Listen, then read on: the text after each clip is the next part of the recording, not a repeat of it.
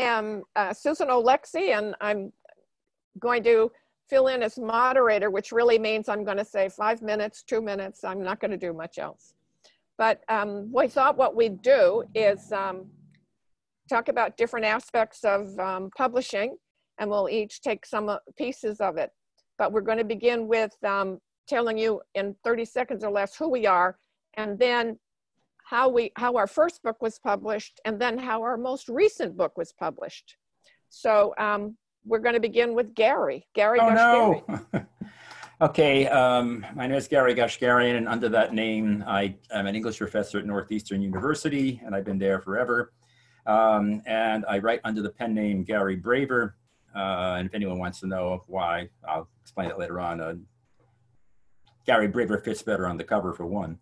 Any case, uh, how I started, uh, I was very lucky uh, to have as my office mate at Northeastern, uh, Robert B. Parker, um, the days that even uh, Sarah goes back to.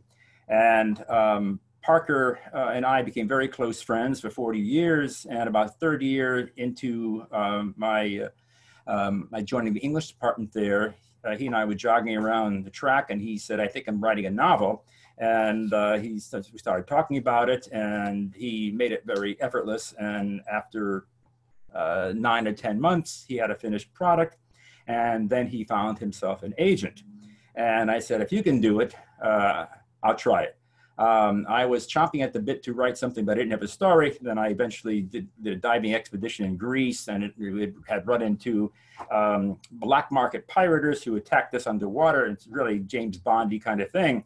And I said, if I get out of this alive, I've got a story. So I went to Parker and I said, I think I got a story. And it took a year or so to write the book.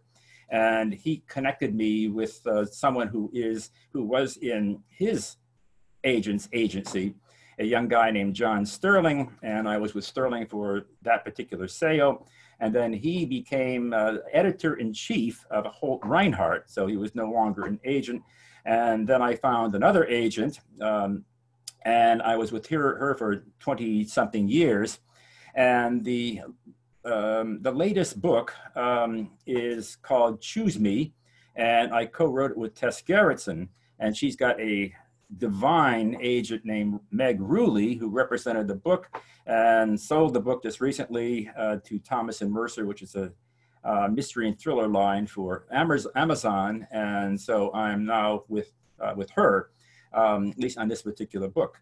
Um, so it was very easy in the early days to get an agent. And as everyone will tell you, uh, an agent is, is the first vetting process and they do the ugly stuff by you know getting contracts and talking about money with publishers um, and so that back then the process was easy and thank goodness i'm not starting out today trying to find an agent because they get 15% of whatever they sell and so they are financially invested and they are almost as difficult to find as a publisher. Yeah.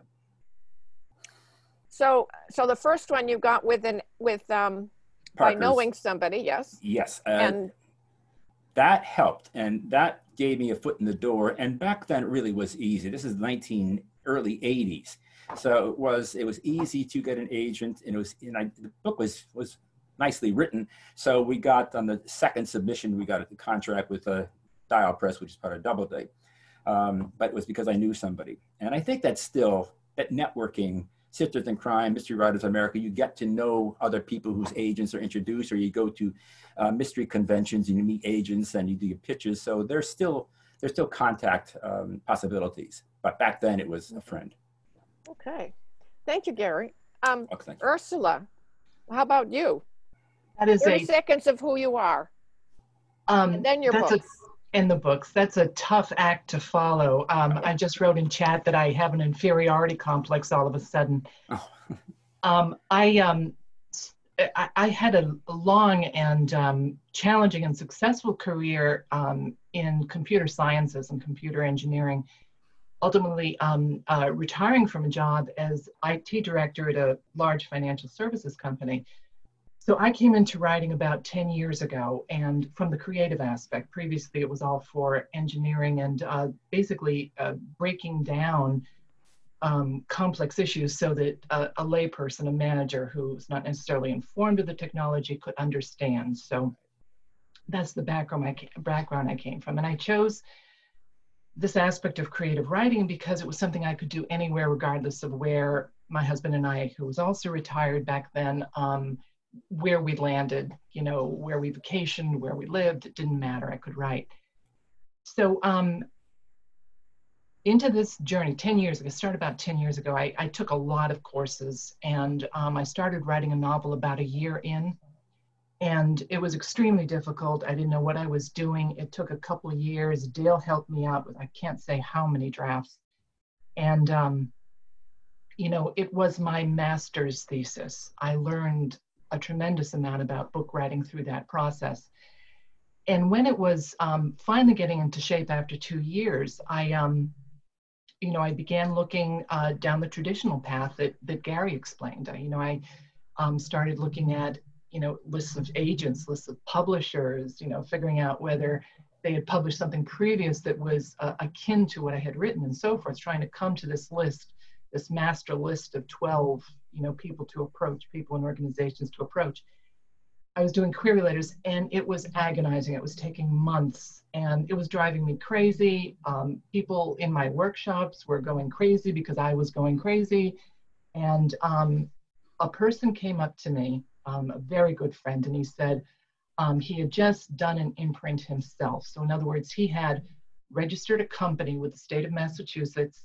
He had a um, an IRS um, a, a ID. He had a bank account it was his publishing imprint. And he said, Ursula, let me do that book for you. So um, he edited it. I changed it. He edited it. I changed. We went through this process again. We um, contracted out to another copy editor. His very creative wife did the book cover. Together, we created this book, Purple Trees, and um, it was a tremendous process. And um, my friend and I, um, you know, subsequently did many books. I still publish under that imprint.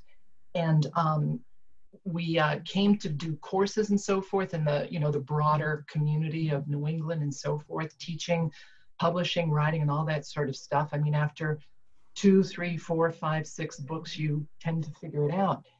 And in retrospect, looking over the material um, that I was giving to people just coming into writing, just coming into the publishing process. I thought about my own experience, and you know what it boiled down to me was that um, in my friend making that offer, I had someone to work with.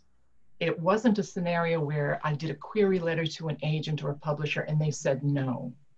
I had someone who was saying yes, and we worked through that process. I don't feel it was a shortcut. It was agonizing. It, it, it was just an awful lot of work to get it right. And um, but that is my experience, and I'm, I'm just so grateful to have had that opportunity to meet someone to um, partner with a family and really um, get that book published and learn the process and really become a great, better writer through that whole episode. That's terrific. Thank you.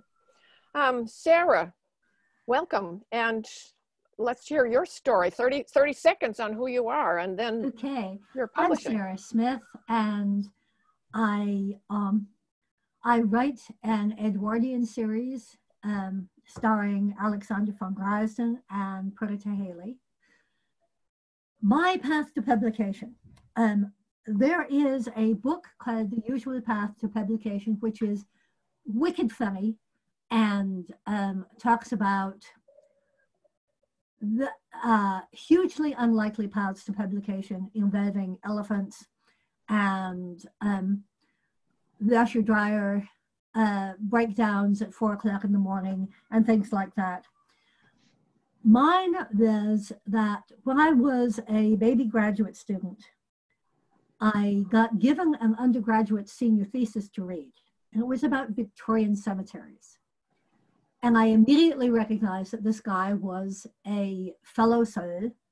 And I looked him up and got to know him and um, uh, got to know his partner, and we were friends. And his name was Michael McDowell, who was later known for writing Beetlejuice. Um, so Michael had an agent, and when I wrote my first novel, I asked Michael would you give me an introduction to your agent? Jane sold uh, The Vanished Child to Ballantine, and my first five novels were published first with Ballantine and then with Simon and Schuster, so traditionally published. Traditional publishing was great, especially back in the day. Um, I got to meet so many good and talented people and got to become friends with many of them. Editors and um, booksellers and designers and publicists, marketing people. Um, many of them are still friends. And the books did very well, and they eventually got to where they were getting quite nice um, advances. And a couple of them were New York Times notables, and one of them the Agatha, and everything was cool and hunky dory. And then I wrote this other book. Um, the the new book um, was about a woman who in 1912 found out that her grandfather might be black passing for white. So she's always thought she was white. Maybe she's black. And this is 1912. Um, and I was scared of it. I was scared of the material. Um, my family is multicultural um, and includes people of color, but I'm not a person of color. So I did a lot of work to write the very best story I could and got to know the people who would who would read it for sensitivity for me. We could not sell this book we could not sell it with a pound of chocolate with the manuscript.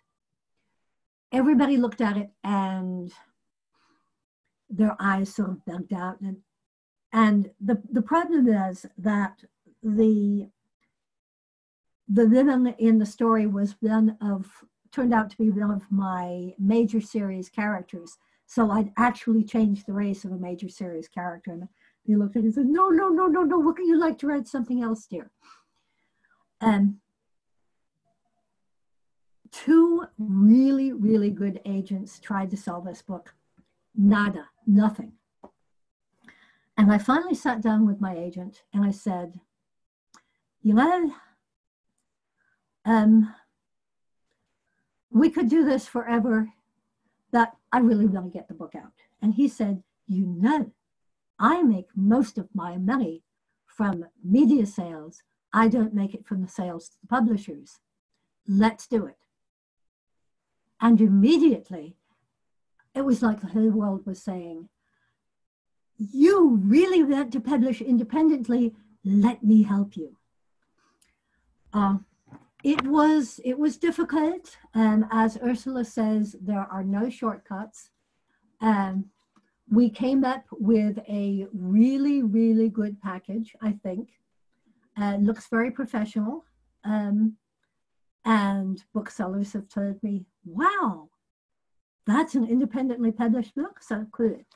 Uh, and the, the book was published this past April 15th, Crimes and Survivors. Now, what motivates me is connecting with readers. Um, my most profound experiences as a writer have been when somebody came up to me and said, Your book really made a difference to me.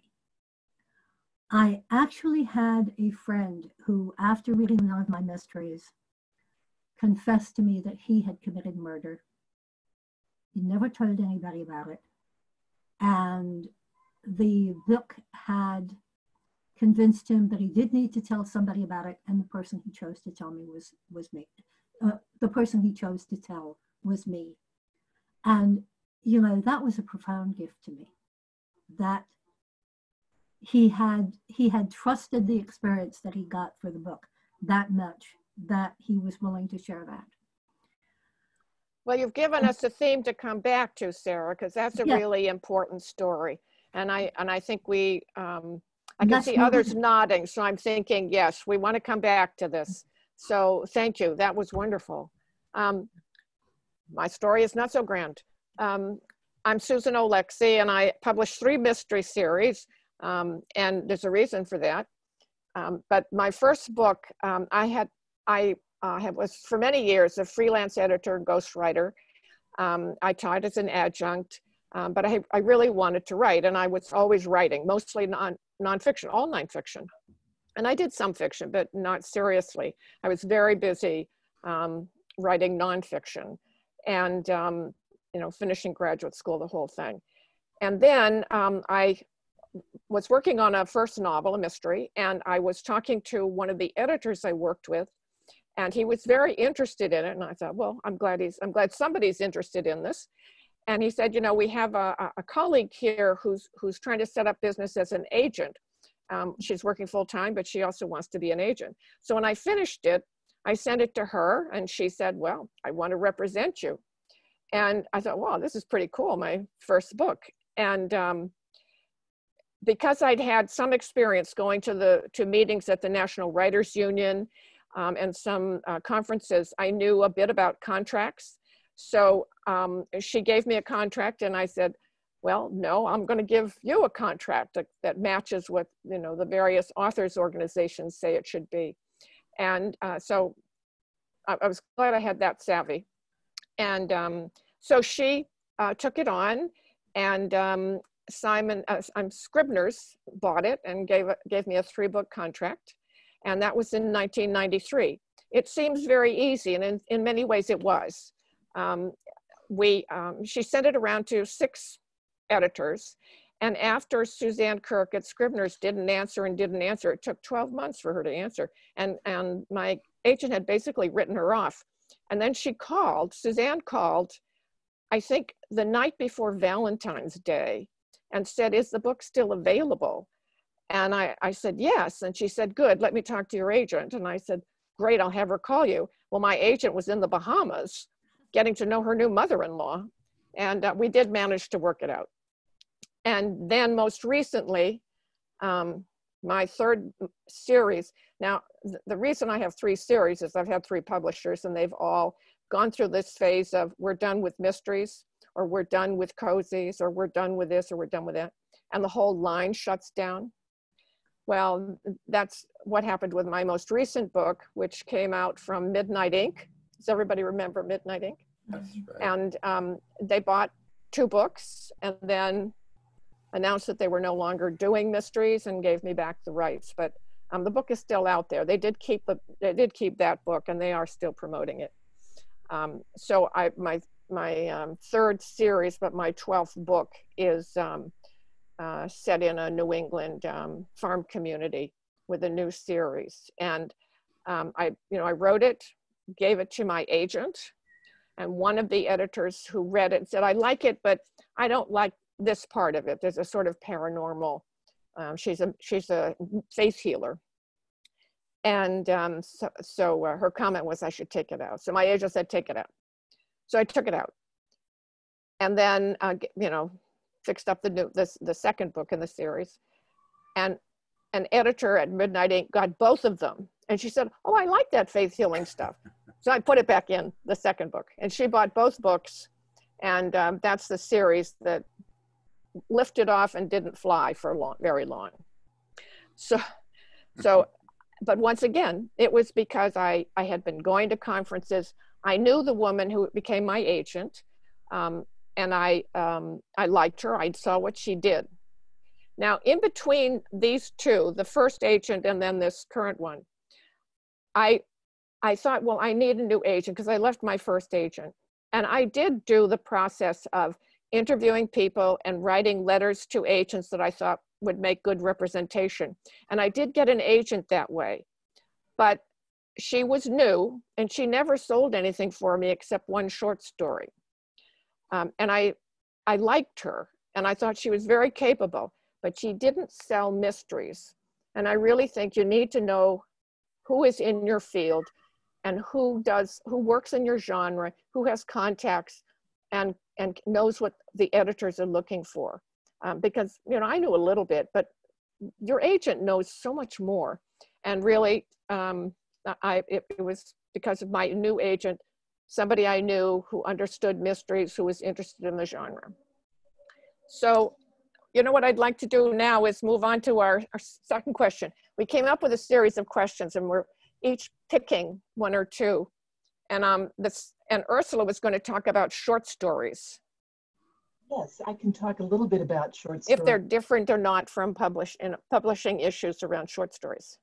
Yeah. Um, so um, in listening to all of you, I, I, I, I, you know, there's a lot on the traditional track. So um, I have less on the literary side, maybe a little more on the, you know, online um, e-magazine side. But one literary um, organization that I have come across um, is craftliterary.com.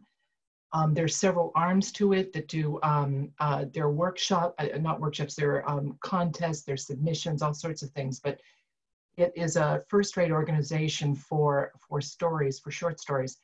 Um, for uh, another uh, way, where uh, place to find um, where you can uh, market or try to sell your short story is uh, Submission Grinder. It's called The Grinder. Um, uh, if you just uh, Google search for Submission Grinder, you will come up to the URL, but uh, the Grinder is the, the, the actual part of the URL. This is a um, offshoot of the old Duotrope, um, which has gone subscription. Um, so basically what this is, uh, the Grinder is a, you know, it's a front end to a big database of um, online magazines and resources that you can look at. Um, you can parse them relevant to a genre, and you can see um, what magazines exist, what online resources exist, and you can see how many grinder people have published within that resource or magazine over a period of time. So that can be very, very useful. Um, the other thing I want to mention is that uh, flash fiction has a very large market right now. Um, now, definition of flash fiction varies for some of these uh, online magazines, these online publications. It can be, you know, maybe the ballpark is 500 words, but sometimes there are flash fiction um, uh, calls out for um, flash fiction pieces of 100 words, 200 words. Um, there's one that I, I think it's 10 words. Um, I, I, I, mm-hmm. I saw it a couple of years ago. I don't know if they're still in business, but that's a, that's a challenge. Mm-hmm. Um, so flash fiction is a good thing to keep in mind. And I think, you know, in, in the course of doing this, I mean, you know, we haven't talked a lot about rejection. So let me, let me put my hand up there.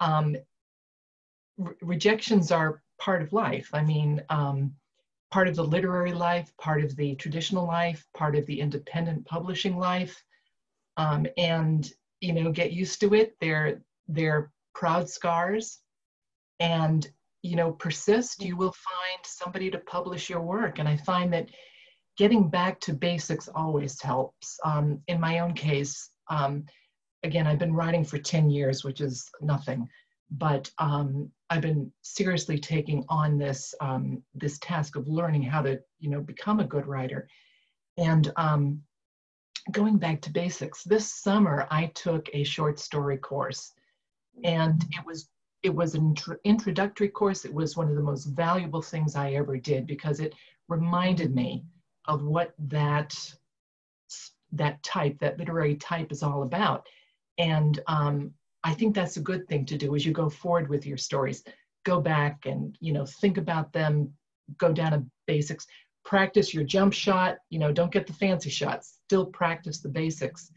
And, um, you know, keep an eye on literary uh, sources and non-literary sources, genre publications for, for uh, short stories because um, they come and go, but um, there are a lot of them out there. Um, I also want to talk a little bit about anthologies. Um, uh, I, in, in, in teaching courses through various organizations, um, Sisters in Crime, uh, the Seven Bridge Writers Collaborative, of which I'm a member, um, I've come upon many groups of people who collaborate, writers that collaborate to do a, a self-published anthology. They tend not to sell so well, but they are a great way to gain experience, to really get a good working relationship with other writers, and they're great resume builders. So um, you can go to Amazon, you type your name, and you come back with, you know, one, two, three, four, this growing list of credentials. It's a it's a tremendous thing, and it's also good if you want to switch over. You know, um, eh, eh, however you're publishing right now, traditionally or independently, switch to the other side. It's um, it's good for your resume, and it um, it shows that you can build a, um, a following, which also can be valuable. So um, I hope that's useful. Um, short stories, how to go forward with them through the grinder. Keep at it, think a bit, think about basics and don't give up. Everybody gets the rejection letters. Well, Ursula, you have given us a beautiful segue into um, our third question, which was about um, self-publishing. Have you tried it? And I think, Sarah, you were going to talk about this, and then I'm going to say a little bit. So jump okay. right in, Sarah so I, I did, I did um, publish my most recent book, Crimes and Survivors, myself. And I stupidly decided I was going to go into self-publishing by publishing, uh, republishing the other three books in the series. So I also decided I was going to learn how to do each of the steps in self-publishing. So I learned how to do covers. I learned how to do interior design. Um, read a lot and found out a lot about pub, uh, publicity and marketing. Didn't do all of the publicity myself, but um, and I had people who looked at the books and the covers for me, who were better than I were uh, was. That I learned that was involved in each of these steps. Whether or not I publish um, traditionally the next time or, or publish uh, independently again, now I have this knowledge and any knowledge about the business is great. You should get um, craft knowledge, you should get publishing knowledge, you should get publicity knowledge as much as you can. Uh, a group of us started a, um, a workshop that meets uh, about once a month about publicity and publicities. Dale Phillips, who is in this class, is a stalwart of it. And we tell ourselves more. And then I realized that, speaking of anthologies, I had a group of anthologies and novels that I had appeared in of that they'd been written by various members of my writing group. They were all out of print. And there was one of them that had never been published. And I thought to myself, I could do this again. So without actually being a publisher, because publishers do other things like give people money for advances and um, make uh, promises for publicity that they frequently can't fulfill um, here I am now doing the same thing that I did for my own books, doing it for other people's books. And it's fun. Um, and it's it's not it's not all that difficult. Um, I have a um, a handout um, the interior design of books, which you can get through writing me at my website www.sarahsmith.com. Okay. Thank you, Sarah. Um, I was going to say a little bit about uh, self-publishing because back in um, 1998, a friend and I founded the Larcom Press um, to publish the Larcom Review, which is a literary journal. And I, um, my, uh, when she asked me to do this with her, I said, okay, but we have to have a mystery story in every, in every issue. And um, and uh, there were lots of discoveries in this process. One, um, this was before pod, before print on demand. So we had to, we had to um, hire, uh, find a printer that we liked and could work with. This is such a big deal. I understand why publishers have their favorite printers. And if there's a choice of, be, of taking the writer out to lunch or the printer, they're gonna take the printer. A good printer is, you know, fabulous. Um, anyway, we, we found a very good printer we had a design, um, we hired a designer who gave us a couple of templates. We made a choice. And, um, and then we sent out a call for, for stories and poetry and essays. we were deluged with poetry. I do not think of the United States as a nation of poets, but apparently we are. Um, essays were really thin and lots of short stories, and most of them were not ready for publication. Some were, a few were terrible, and then there were a few gems, some really wonderful pieces. Um, but I wanted interviews, mystery, short fiction, essay, poetry. I wanted everything, and I wanted black and white art. So we went along this way, and then we did five uh, mystery novels. And um, uh, one of our first uh, publishers is on this, uh, published writers is on this list, Leslie Wheeler. We did her first mystery. And, um, and, then we went broke because we were, we had to print a certain number of books. And then Pod came along. We would have had to quit anyway. I, I always make that point because my my uh, partner got cancer and my mother got very sick. So we had claims on our time. But before we stopped this, I said, you know, I want to do an anthology of short crime fiction. And so out of that, with two other friends, grew Level, Level Best Books and the annual anthology of Level Best Books. By now, I was sure I knew everything. You know, I'd been through the mill, I'd been, been down to hell and back.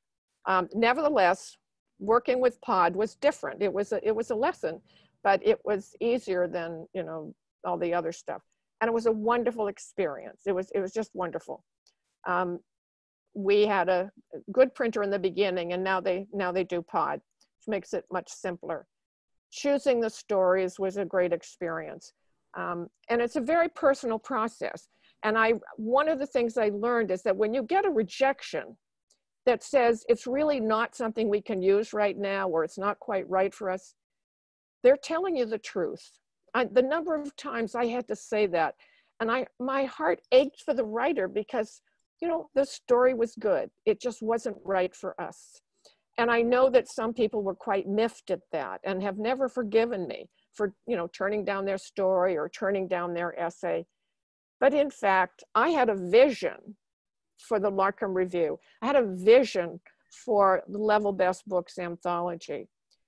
And it, it's not that your story isn't good, it's that it doesn't fit within that vision.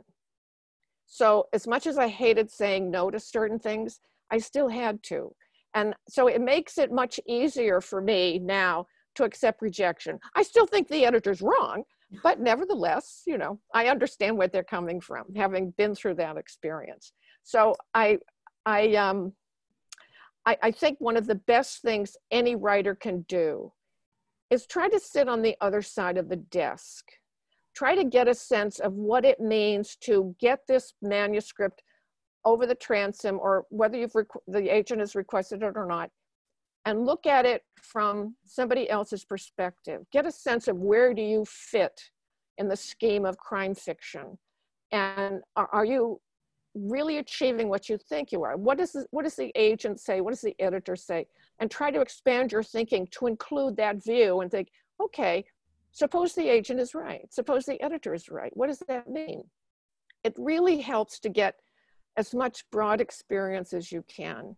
And I think, um, I think other people, I think also, I think Gary has had some experience with editing.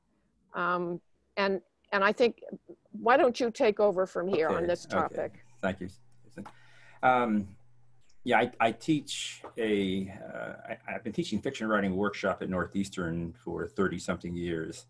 And I've taught uh, elsewhere in America and in Europe. Um, and I started a fiction writing workshop in London called the London Writers Workshop in the late 80s. And um, I also um, was a freelance editor for a small startup publisher in Boston a long time ago called Hill and Company. And they had a unique um, contract offering.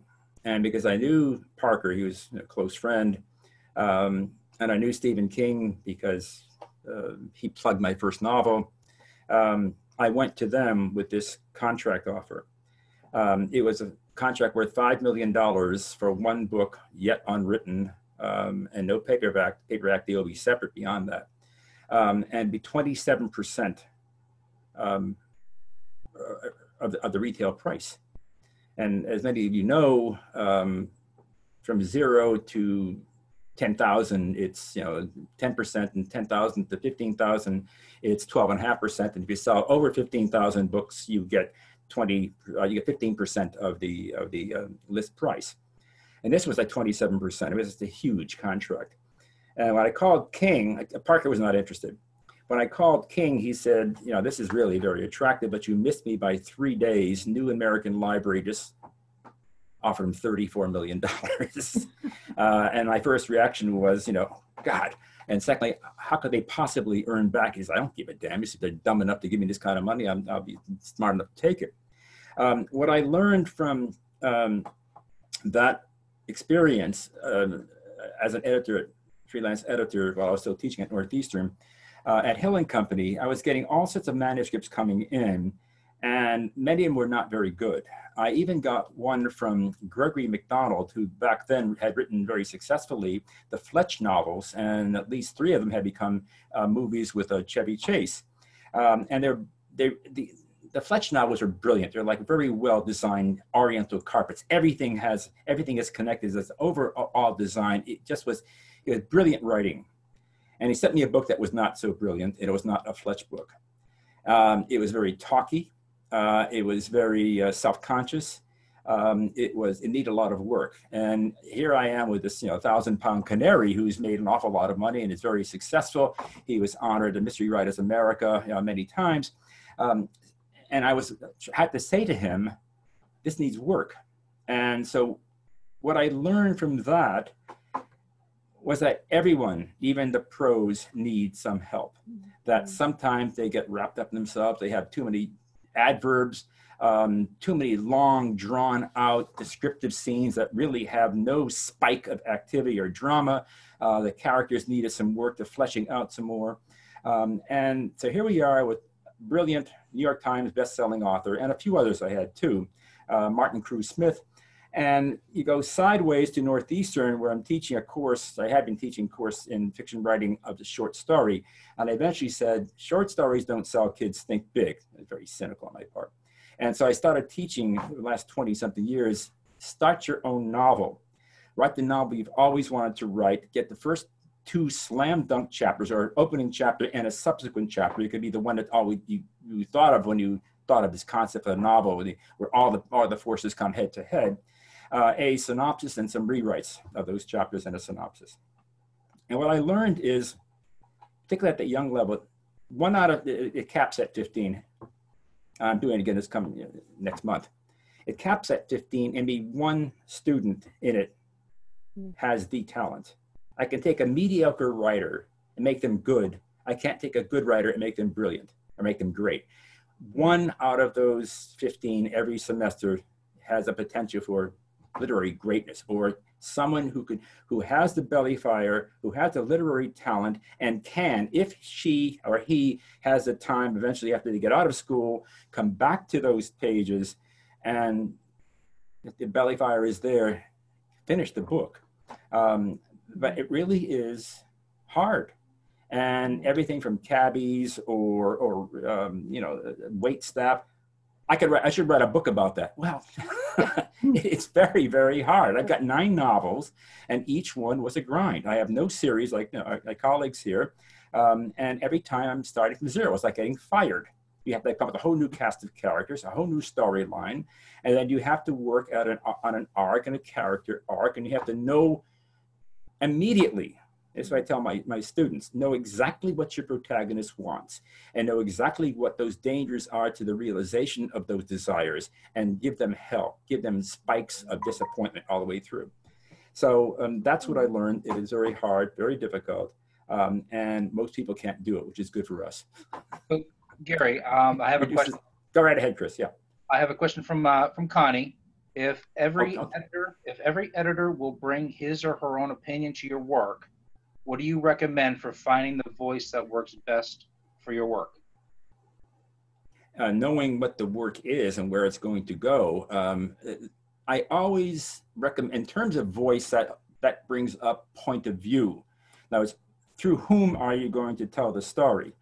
If it is a mystery or a thriller, I recommend the character with the most to lose because mysteries and particularly thrillers, thriller is driven by dread. Mysteries are about you're solving a, a, a puzzle, getting the, you know, the, putting together all the clues and nabbing the bad person at the end. But if it's a if it's a thriller which is driven by dread, that's an emotion. So the person has the most to lose means that the reader is emotionally bound to that person and rooting for him or her.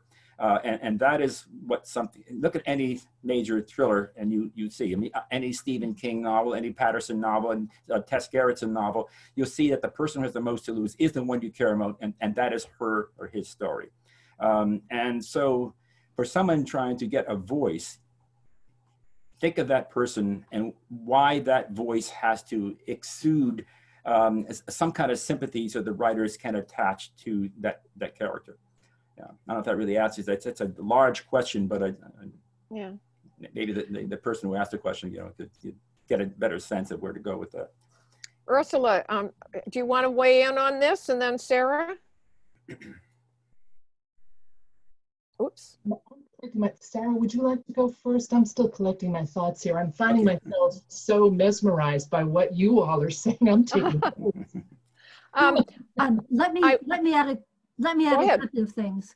Um, first, about point of view, it's always the person to whom it matters most who should tell the book, or sometimes the scene. You can have a book with multiple points of view and it's always the person who is going to hurt the most, who can gain the most, or who can lose the most, who should be telling that particular part of the story. And the other thing is about um, when you take editorial advice. Most of us, I imagine, are members of writing workshops. We have our beta readers. Um, typically, 90% of that a beta reader, reader says to you is, you should do this. And you look, no, don't think so. Um, and then there's that 10% that will really change the book for the better. And your job as the writer is to say yes to that 10% and no to the rest of it. And sometimes people will give you um, a way in which you should change this to make it better. Don't necessarily li listen to the way they want you to change it, but listen to what they have to say about their reactions and proceed accordingly. That's what I've got. Ursula? Yeah. Yeah. Connie, um, I've read your books and you you definitely have a voice. Um, I haven't been schooled like the other members on this panel, but what I find from my readers is that, you know, regardless of point of view about delicacy of craft, unless I'm really writing um, from a very fundamental, either a passionate or a, a an angry or a, some kind of emotion, readers can tell. They can tell when it's flat, they can tell when it's not genuine. I think combining that, um, Gary called it fire belly, I think, belly fire, um, combining that with um, your core story, you know, that's the voice, getting the passion and the, the, the telling of this story, this particular sequence of events. And I think everything else can be edited in or out or whatever, but I think that's the key. Um, just can I cut in just yeah. uh, as a segue from uh, what Ursula was saying? Um, one of the things that creates that passion, and this is this is what I discovered from being an editor and, and having taught workshops forever, um, is that the old you all know this chestnut show don't tell, and that passion, if you could dramatize that passion, um, everything is simple. Like simply such as instead of saying she was angry, she slammed her hand on the table or threw the coffee cup against the wall, which demonstrates anger without using the word anger. That that dramatizing of of the emotions is something readers can identify with, something we've all felt. So I think that is a key thing that separates the scribblers from the authors, those who've made it.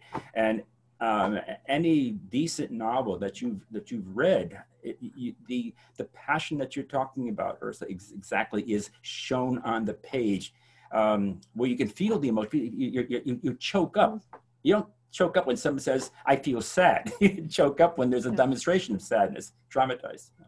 Yeah. There's an exercise I used to give um, students when I was teaching um, to help them with point of view. And, you know, they'd come in with a story idea and I'd say, okay, how many characters are in this story? And they'd say three or four that they wanted to have in the story. And I'd say, all right, write the story from the opening paragraph or page from the, from the point of view of each one of these characters. And then rewrite it from the point of view of first person or third person. Mm-hmm. And there are times, and um, you know, I uh, first person is something I've I've struggled with, and really worked at it. And you know, it's not, it doesn't work for me. I mean, it, yes, I can get 80,000 words, but I'm not sure I like those 80,000 words or the way it works. But the minute I switch to third person and I'm doing a rewrite now, I can feel the story opening up in ways I had not anticipated. Mm. And I'm not sure, we're different. You know, all of us are different.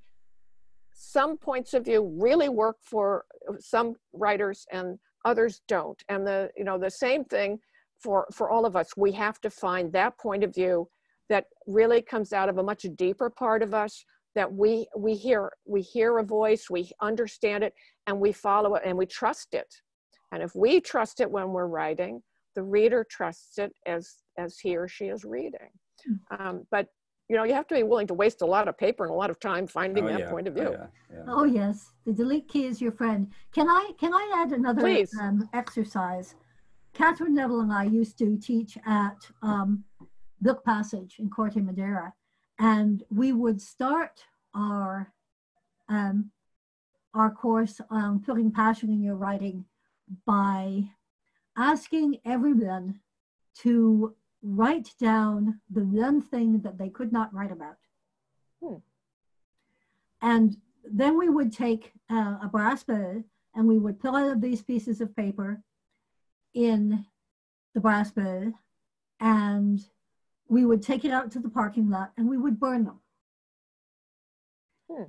That now everybody knew that there was one thing that they could not write about that they had written about. And it was a it was a freeing exercise. Sometimes you'll read a book and you'll feel like it's not the characters who are holding back, it's the author who's holding back. Never, never, never, never, never hold back. Mm. Yes. Write down yes. that that uh, sentence, and then you can burn that piece of paper. Yes. Yes.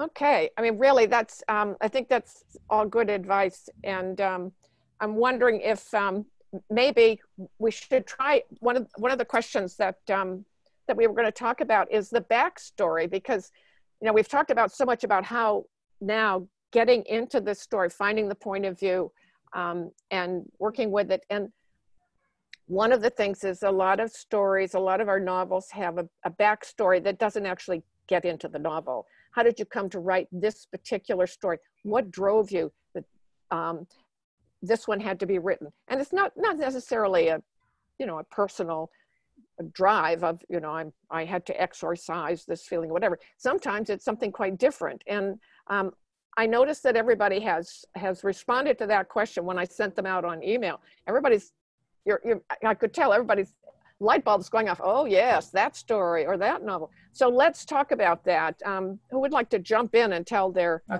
yeah. Go ahead, Gary. Um,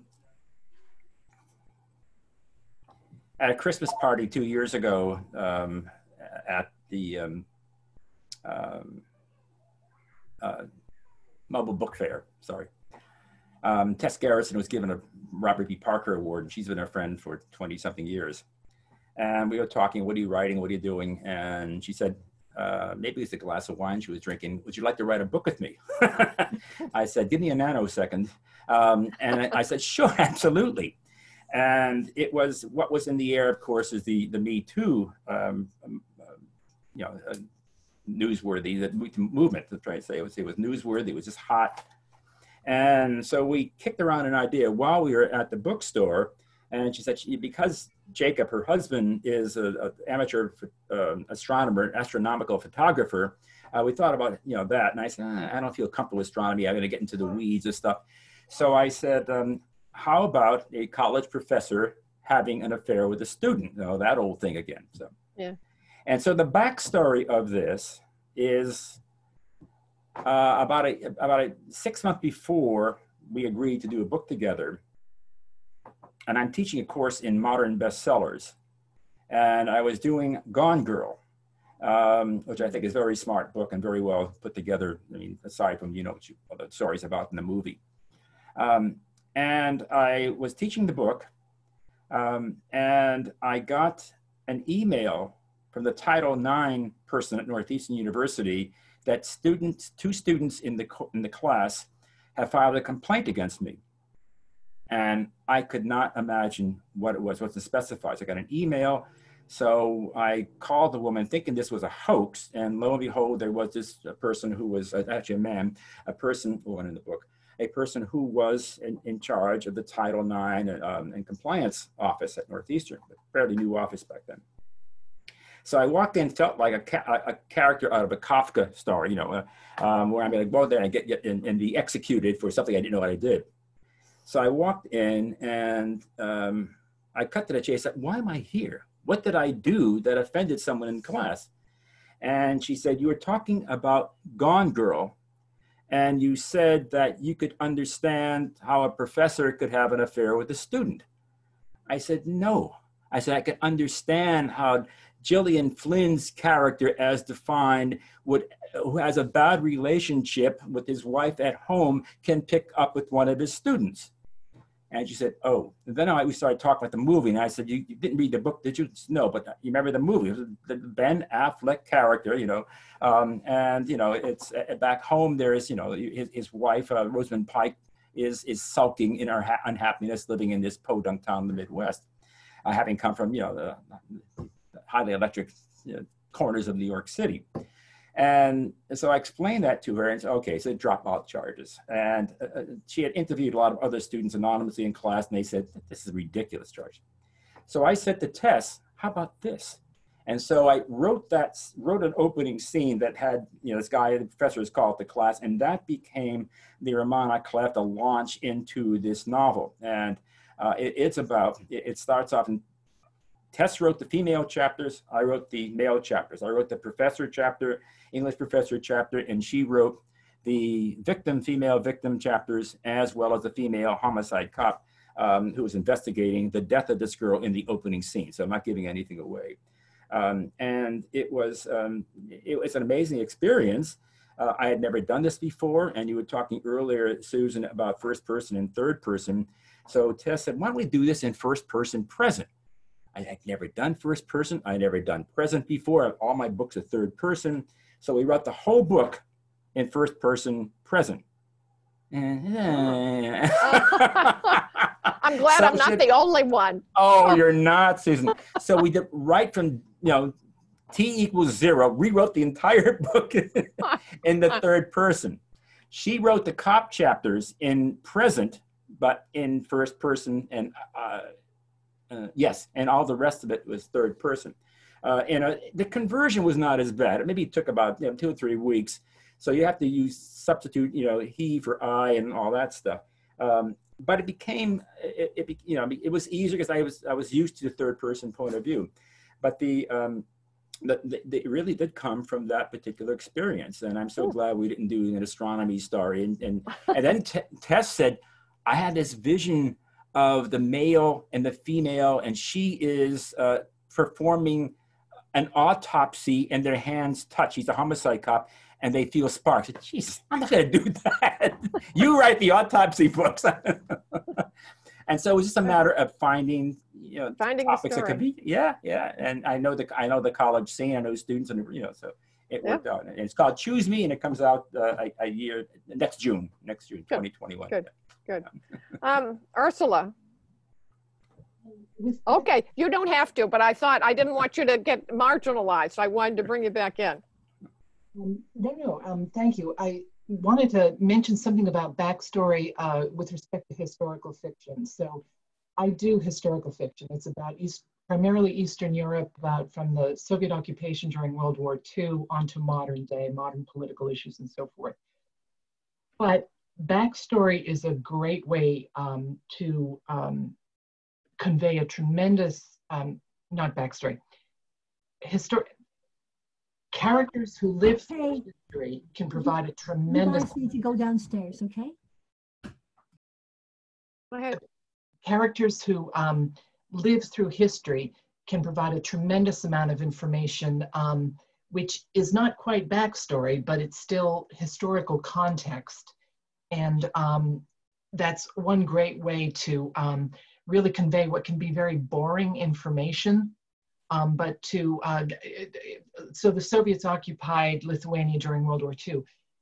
Putting that in the context of, of a family can give backstory for a series as well as emotional attachment and um, bring that history alive. So I'm kind of twisting the backstory idea to really convey historical like elements, but I think that's one thing that a lot of people, especially in Sisters in Crime, write about um, historical mystery. And, um, you know, I think it's a, a very, um, you can, you can, through historical fiction and characterizing the history, really convey a lot of uh, very basic information and very useful information. Mm-hmm. Okay, thank you. Sarah, you, you, I'm, I'm sure you've got a backstory. I'm sitting here nodding and saying, yes, historical fiction is a, is a way of uh, writing about the present as well as about the past. Um, so I told you that my family is multicultural, that we have people of color in it. And when my niece was growing up, my, my niece, um, who is African American, she would come back with these stories and we would listen and say, Oh, isn't that horrible? But, you know, we weren't really listening. We weren't really hearing what her experience was like. And as um, the, the whole experience of Black Lives Matter and the issues of racism in America became more front and center, I realized how much it had hurt her that we weren't understanding, we weren't listening, and we were her family.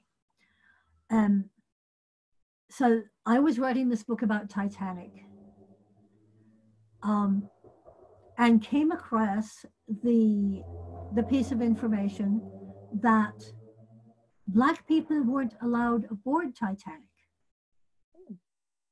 Nobody supposedly. There were actually four, four black people aboard Titanic.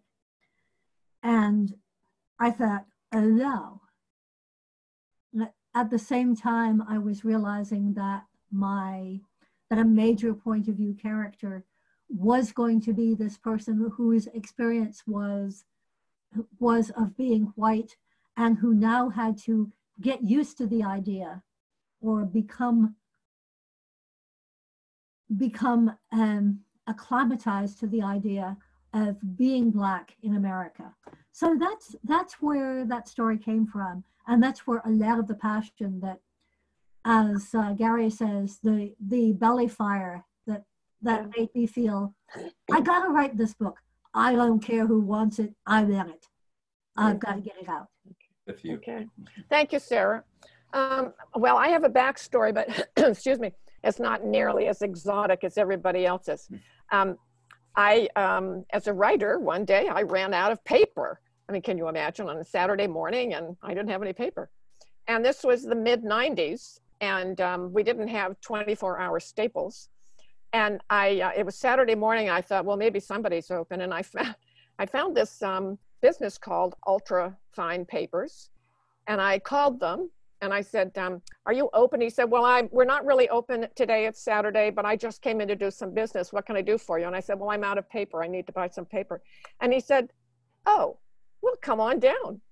so it was in a section of um, the town where I live that I didn't recognize. It was behind another bunch of storefronts, and I drove in there, and there was all of these little businesses. Well, little businesses. I saw their doors, and there were small doors.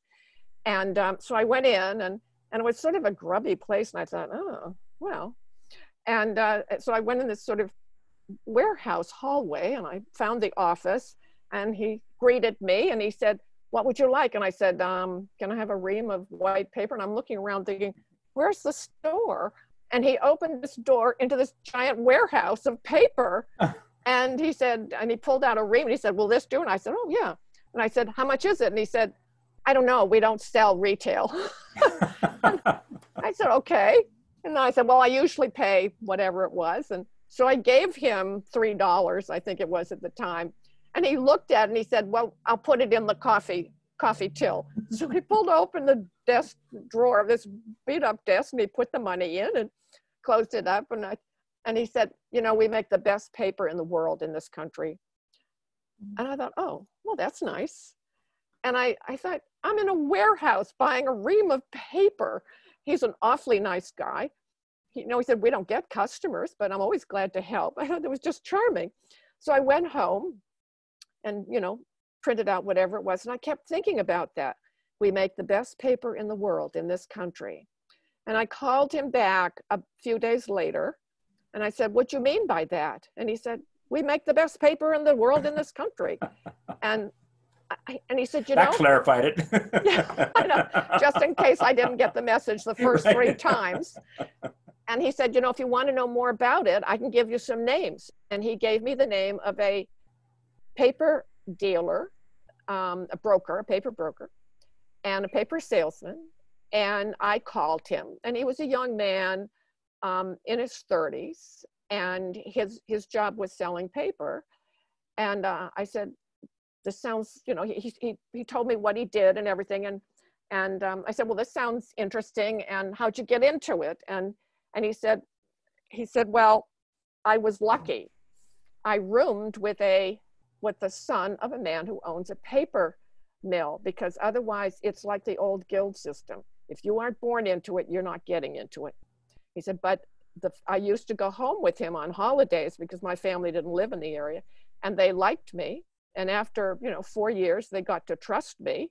And so eventually they were willing to, you know, think about giving me a job. He said, but it's closed. It's a closed system. And he was wonderfully open. He told me all sorts of things. He said, if you want to see how it works, there's a wonderful mill here in Massachusetts and he told me about, I didn't realize how all the paper mills, Crane Paper, which makes our money. So the big scandal when Bush wanted to have it made overseas, which of course is ridiculous. You don't send your currency overseas. Um, it's just down the street from us, so to speak. It's just down on Route 2. And he said, go out to Esleeck. It's an old mill. They do wonderful work, but they're really set up and looking like they did 100 years ago. So I went down and asked for a tour and got a wonderful tour. And out of that grew the fourth Middle, Mellingham book, uh, Friends and Enemies. And um, of course, I gave it to my family to read after it came out. It did fairly well. And my mother's one reaction was, How'd you learn so much about the paper industry? that was a great really, book. I loved all the detail about paper. Thank you. I mean, I really did learn a lot about industry in this country and um, Massachusetts Rust Belt, mm. but the paper industry in this in this state is something to be truly proud of, and we really do make the best paper in the country. So, Susan, uh, I have a um, from from Sarah. She asked uh, that place down near the Museum of Science, and she was there. It's amazing. And Dale is inquiring about Dunder Mifflin. Dunder Mifflin. oh, Dunder. Dunder, Dunder Mifflin. They're, I think they're paper brokers. I don't know. Yes, I don't know exactly the office. So, um, is that what Dunder? I know. I know it's based on Houghton Mifflin, but they're not actually publishers. They weren't publishers, were they? In that in that TV show. Uh, he says it's from the TV show The Office. Yeah, yeah, Dunder Mifflin. Yeah, um, but I didn't know that they were publishers. I thought they were the paper people. Um, yeah, but, paper company and we were too busy listening to the jokes to find out what they really did all day. um, so anyway, I, I, know we're coming not quite down to the wire, but we should be looking in that direction. And um, Ursula had come up with a really good um, subject to introduce here. And I'm wondering, Ursula, if you if you want to talk about um, author branding. Yeah, um, let me say a few words about that. Um, is is again, as I'm taking notes, I'm getting on the internet. I'm looking up everybody's uh, website, and um, every everything is is tremendous. Um, I want to talk about this because in I, I do get out. Well, I used to get out a great deal. Now I Zoom a lot, but um, I meet a lot of people, and I meet writers who are just starting out. I meet writers who have had wonderful careers as writers, and I've seen both cases where the the new folks and and you know people who have been around who have five, six, seven, eight, ten books under their belt, no website, minimal internet presence, and it breaks my heart because um, I think that no matter where you are in this industry right now, whether you publish traditionally or independently, or whether you just sell your stories, some type of um, internet presence is mandatory. And this and this begs the question. So if you are on the internet, who are you as an author? What is your brand? And um, I wanted to talk about that a little bit in terms of um, minimal work uh, that uh, kind of establishes your presence. Um, a website, um, an email list, a business card. I know Dale uh, Phillips is on the um, is listening in. I have never seen so someone give away so much uh, a, a, paper material. Um, he has these uh, um, little, uh, uh, they're, they're, oversized bookmarks with all of his books listed and all sorts of things. Nothing extravagant, but good, simple material that make people remember who you are. But this is all basic stuff. I mean, we think about writing is, you know, writing a book, writing a story. Being a writer, I think, is um, trying to understand who you are as a writer. And I read a book recently by Dana Kaye, who is a, a, a marketing specialist um, she does work with Sisters in Crime. And in terms of figuring out who you are as an author, I mean, it seems like an obvious question, but it's not necessarily so obvious, especially for people who are experimenting with different genre. And her, you know, quote unquote formula is to typify the the the works that you have done, whatever they are, novels, whatever, to typify them in terms of the essence that you're writing about. Are you writing about families? Are you writing about uh, distressed women? Are you writing about um, um, uh, gender issues or race issues? What is your core? Because that's really who you are as a writer. And understanding that and leveraging that not only is eye opening, but um, it can be very impactful to your work. So, um, author brand. Um, I don't think that's an issue for this audience, although there's some folks on the on the on the on the Zoom who I don't know.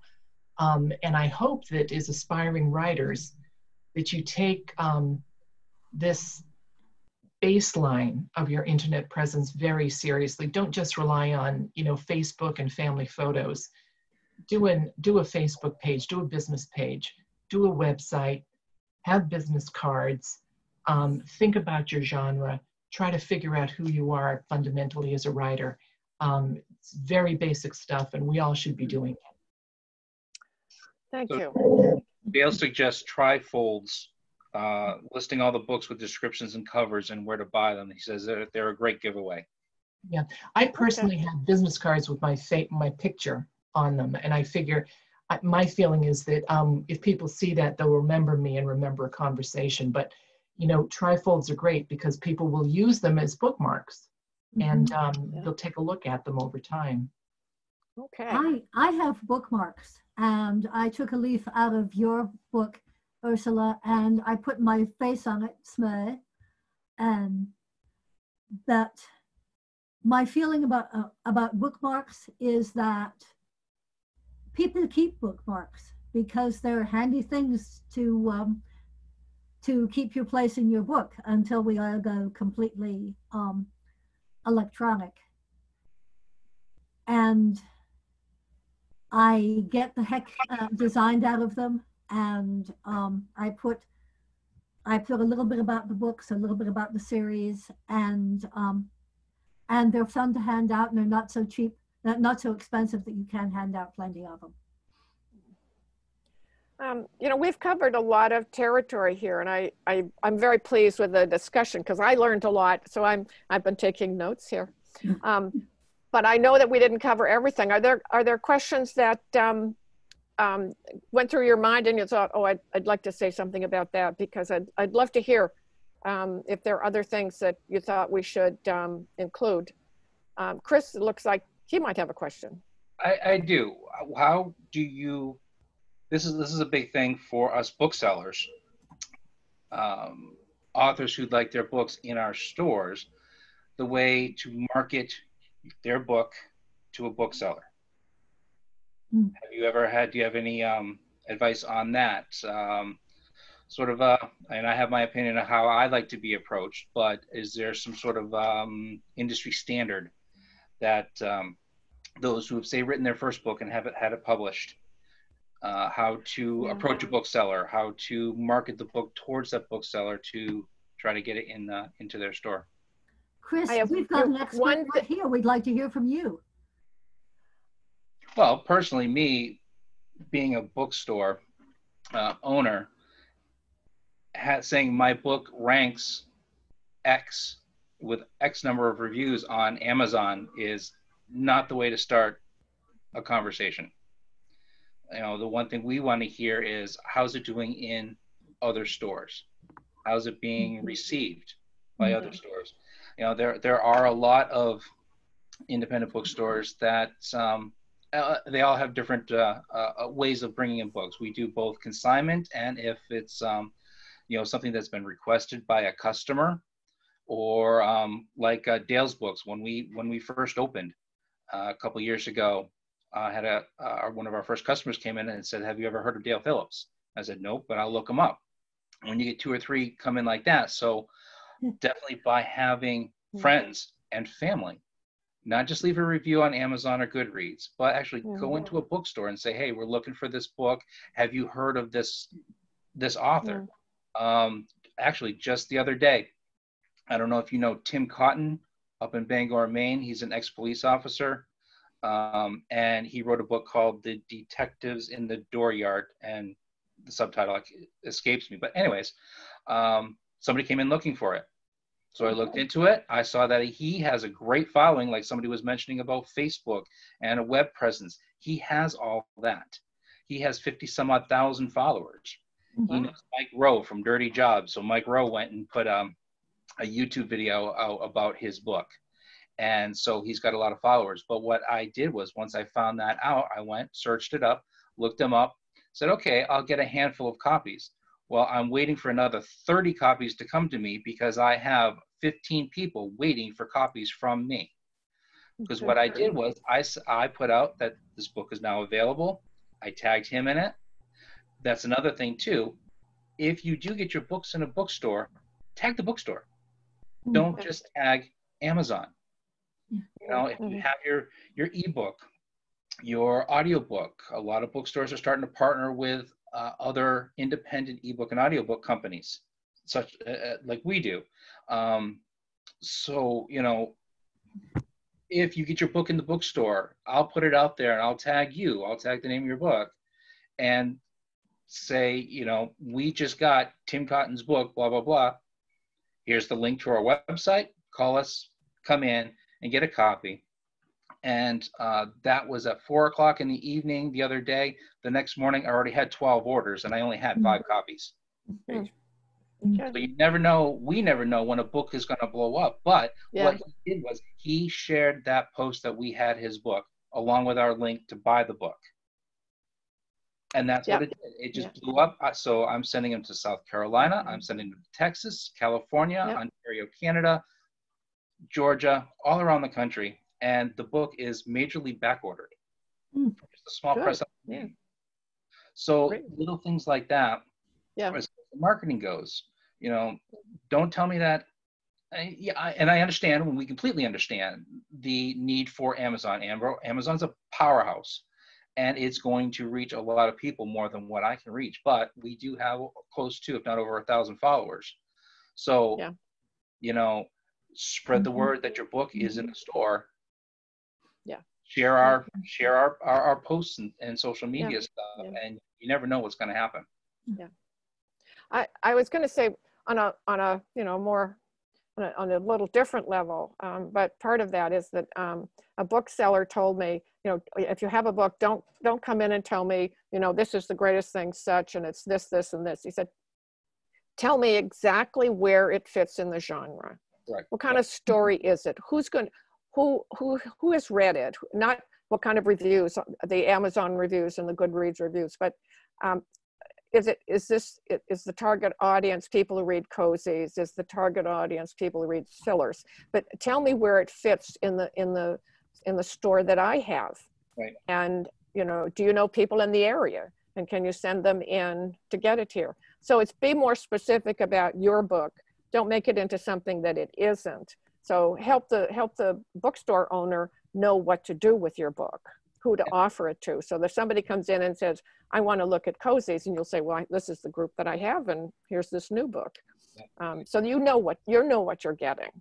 The approach too. Don't just yeah. come in or email me or message me saying, "I want you to carry my book in your store," or "I would like you to carry my book in your store," and then leave it at that with an Amazon link or just a link to your website. Mm. I need that. That's the biggest turnoff right there. Yeah. Yeah. yeah. yeah. And it's unfortunate that no, you're not telling me, you know, you know, come in and ask.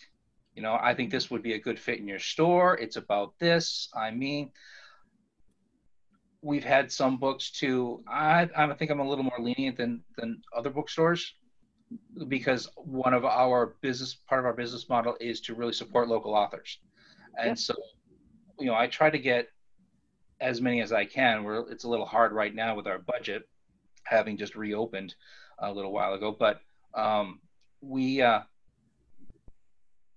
if you bring the book in and explain it to me, it, it's better to email first and say, "Look, I have this book. I think it'd be a good fit for your store. I looked at your website, your social media, and um, I think it would be a good fit. Uh, would you take a look at it? Um, here's if you want to attach a link i do occasionally go to amazon to see what people have reviewed and are saying about it. That's just one of the things that i use. Um, and then if it does sound interesting i'll get in touch with you. And send me more. Send me a send me a, a an advanced reader's copy if it hasn't come out yet or, or a courtesy copy so that i can read it over. I like to read the books at least yeah. part before i put them on the shelf or decide whether it's going to go on the shelf or not. Um, so uh, the approach is, is a big thing. Don't just either come in and say here here's my book. I want you to put it on the shelf or i'd like you to put it on your shelf. That that's a turnoff. Okay. Are there um any uh, would somebody like to add to this or more I, about I have, uh, I have, a question chris. Mm-hmm. you said you said you just restarted you reopened recently. Um, i've not been to your store and i will be someday um, in terms of signings, can you set up outside the store a table for authors to sign? So, yes. okay, oh, that would, that's a good idea. Yeah, I mean, like the way restaurants have opened outside. Yeah. Yep. We also um, we do have a gallery. We started we started renting the space next to us, which is a big uh, 1,500 square foot plus. Uh, it is a gallery. They moved out, but we're keeping it a gallery.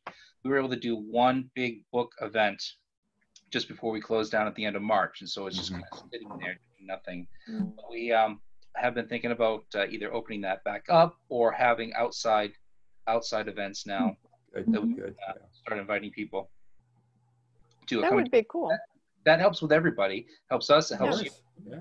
Our particular store has a lot of walk-bys, uh, people walking by. Uh, not as much as before the virus, uh, even in the dead of winter, we'd get a lot of people walking their dogs and jogging by, and they'd stop. But um, not so much lately, but it seems to be getting better. Anyways, yeah.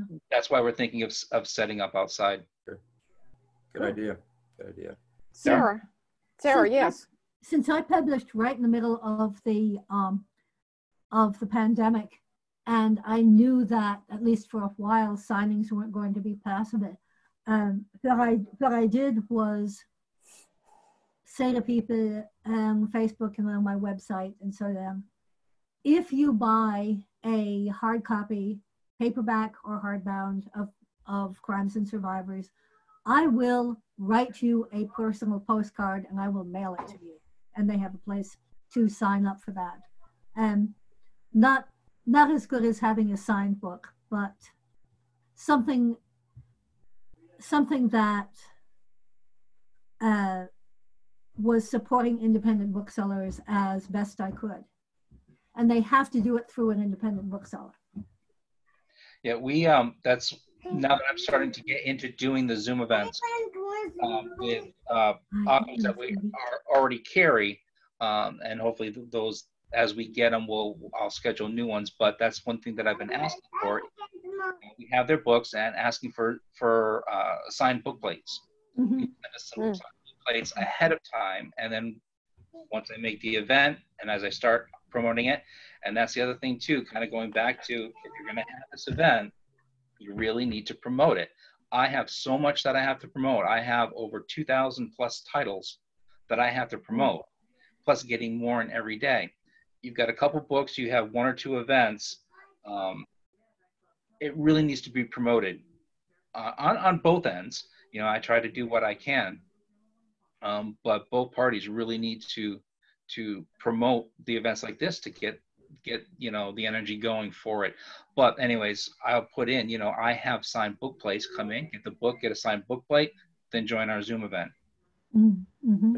good um, chris can i ask are you um, taping these um, these zoom events and putting them on your website and yes. Um, if you yes can you send us a link and we can put it on our websites and yep. Um, you know yep. that would be great that would yeah, be great. I'll, I'll, probably get to it tomorrow because I'll, I'll cut it down uh, the beginning portion of it um, mm-hmm. to uh, just get the, the relevant stuff.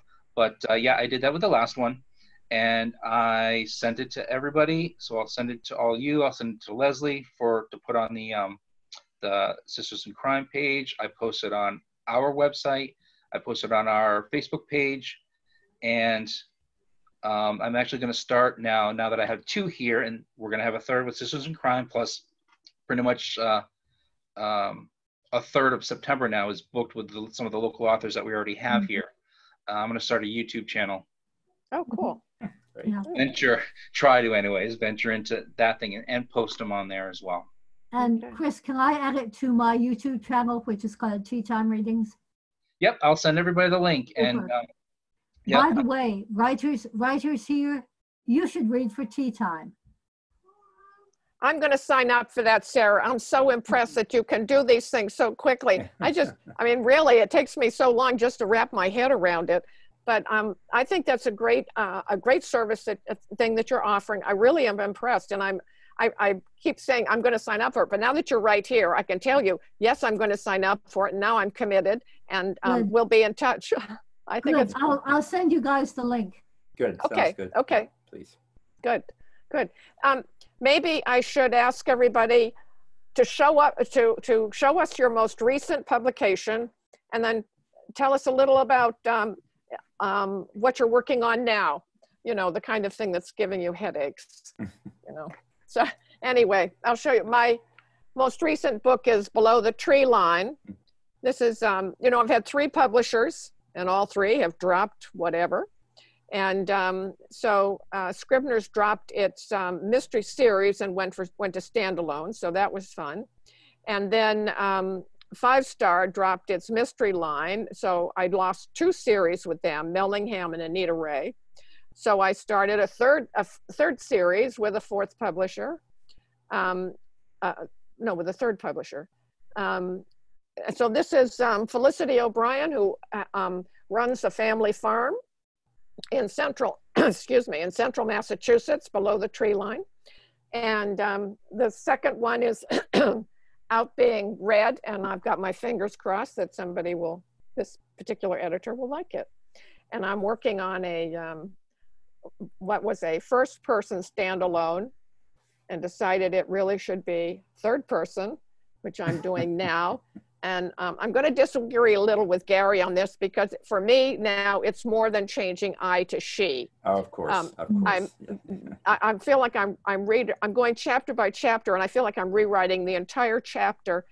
And as I do this, new clues come up, new lines of inquiry come up, new characters develop and it's just it's a very broadening experience mm-hmm. um, and, and and i'm i'm pleased with it but my lord it's a lot of work it is yeah. no one said this is easy no none of this is easy. changing midstream yeah So hold up a, a, a book. Um, I'll be right back. I gotta go, go get a book. I didn't know about gotta this. Gotta go get one. Yes, I know. I'm sorry. I sprang this on everybody at the last minute. Sarah, I know you have your book. I have my book. The most recent one is Crimes and Survivors, in which a woman who has just found out she may be black has to deal with the Titanic and um, Jim Crow in 1912.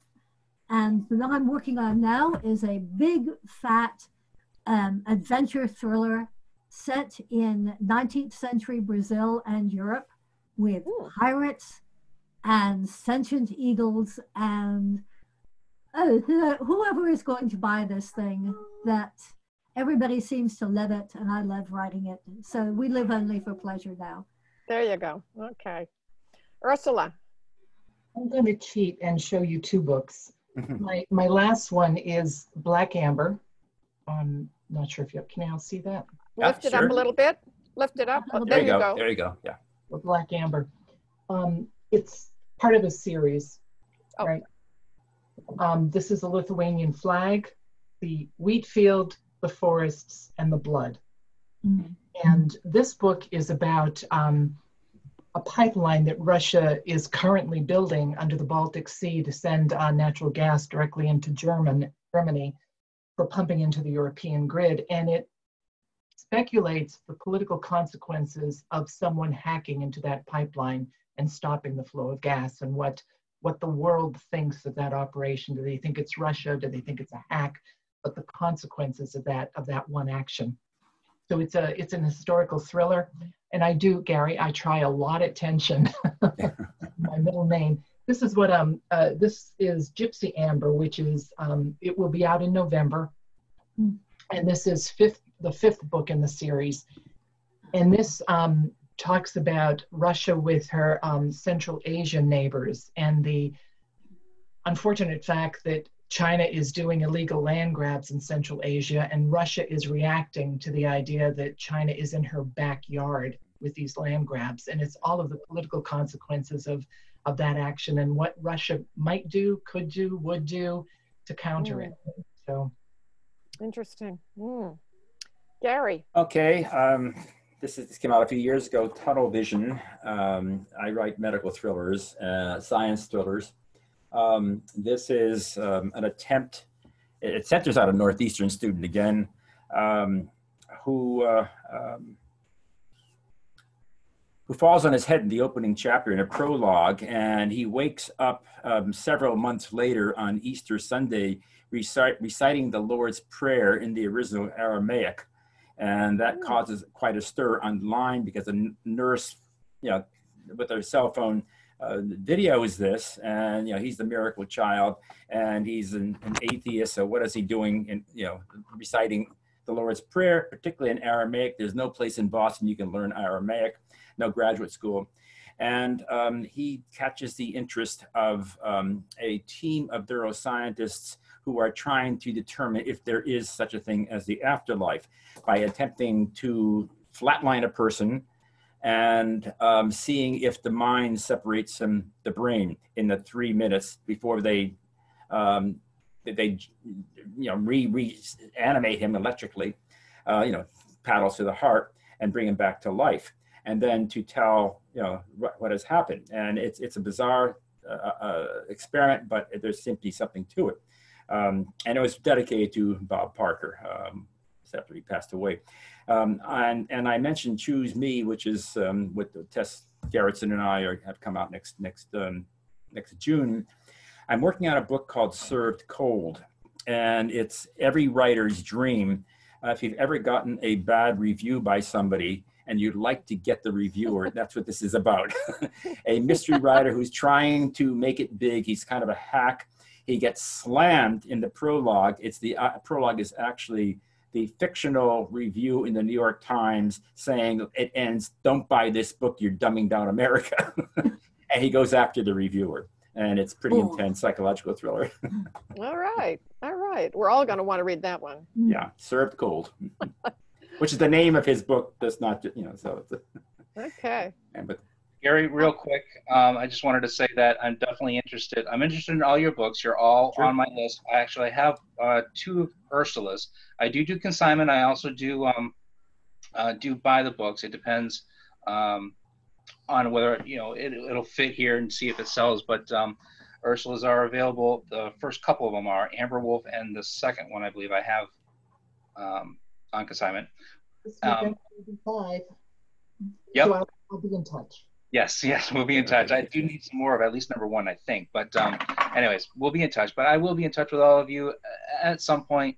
Um, Gary, my wife, though, I will say, is a huge Tess Gerritsen fan. Great, yes. She loves the Rizzoli and Isles series. Rizzoli and Isles, a great series. And yeah. the TV show. Every day I come home and she's watching it on demand. She records every one of them. But right, right. for her, anyways, looking forward to the the collaboration with, with you and her and, and sure, sure. that book. Yeah. Okay. Maybe we'll be down. yes. Yes. She's in, she's in Camden, Maine, so you know, yeah, on the way. Yeah. yeah I'm in Kittery Point, Maine. Um, oh, you're really close. Yeah. All right. Um, sometimes, not all the time. Okay. Looking looking forward in the great time to come of uh, yeah, yeah. looking for the future. Hopefully, well, we can get that gallery I don't th- again because hopefully we can get the gallery up and running again because we were able to get a dozen authors in there and do to do big, and that was going to be my whole thing. Yeah. Right. Yeah, so. Well, I hope we've answered every possible question. Somewhere in what we've said, there's an answer for for everything. Uh, um, one more thing. Anyway. Uh, message yes. for, for for Leslie. And if not, um, you know our names. Since we all have websites, you know where we live. Um, I do have this thing. That, I see, this came in the mail today. ah, yes. Good book. Really this is from Leslie I'm Wheeler. I'm taking it to Cape with me very shortly. yeah, yeah. Oh, you'll enjoy it. It's a lot of fun. Yeah. Great. I'm looking forward to it. Yeah. And if I may, just one other, um, I don't know, know about this avenue. Uh, have any of you heard of uh, bookshop.org? Yes. Okay. Are you on it? We are. We are a part of it. So you Excellent. can go to our website, look under um, uh, or just browse the, the book page. And if you don't see the books on there, there is the link for Bookshop to our page at Bookshop, but you can mm-hmm. also go straight to bookshop.org and you can search for the bookstore that you'd like to support and get to their page. And as long as your books are distributed through Ingram, they'll be available through, yeah. through Bookshop. Great, great. It's a wonderful way of, of getting books yeah. safely. And, and from your independent bookstore. Okay. Chris, thank you for having us. I've got to cut out. Chris, yep. thank you so Thank you for setting us up too. Thank you, Chris. This has been a, and I, I want to thank Gary and Sarah and Ursula because I sprang all of these questions on them and said, what do you think, folks? And they all just said, great, we'll, you know, take one and two and we'll see how it works out. And it's been wonderful because you really developed a dialogue and I, I learned so much from listening to you. And um, it was great. Thank you. Thank you all for being. Thank you for the great for questions. Coming up with yeah. the questions. Yeah. It was fun. It was really very fun. And um, I, I hope, Chris, it brings you a lot of business and a lot of uh, interest. I hope so. But thanks to sure. thanks for letting me do this. Thanks to Sisters of Crime too right. for allowing me to do this. And I really hope to uh, do it again. Great. Thank, Thank you. you so Thank much. You. Thank you, everybody. Okay. So long, folks. Bye bye.